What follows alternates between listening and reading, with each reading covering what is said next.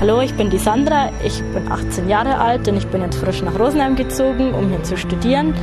Und ich freue mich schon auf Studentenleben hier.